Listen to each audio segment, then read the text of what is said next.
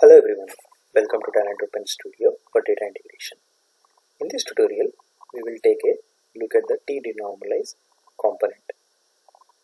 This component will from the functionality side, it will do the exact opposite of what t-normalize did in the last video. Let's go ahead and take a source data. So here is the source data.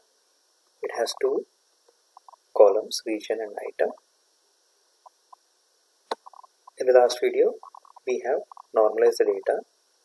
In this video we will denormalize it. So for each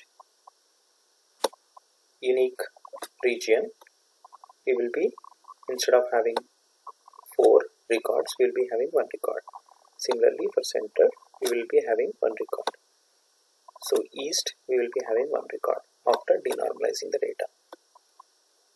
Let's go ahead and see the options available in denormalize. So go to the basic, settings, select the column which we want to denormalize.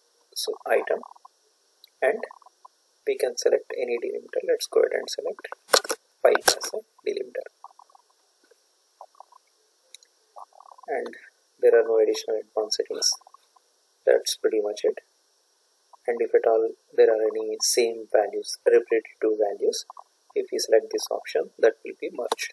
So we'll, we'll see about this option later. Let's go ahead and run the job. And see the data.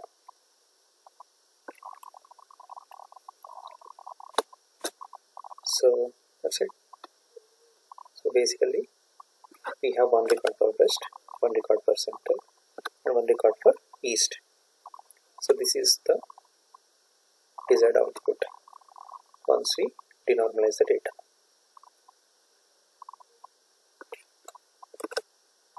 Let's go ahead and make a duplicate record and see what happens we select the option.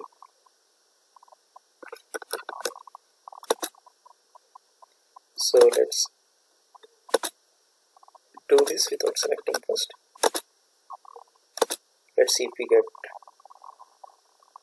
a duplicate one. Yep, so there you go. Pencil and pencil has repeated twice because we have added the duplicate line pencil in our source data let's go to the component settings again and select this option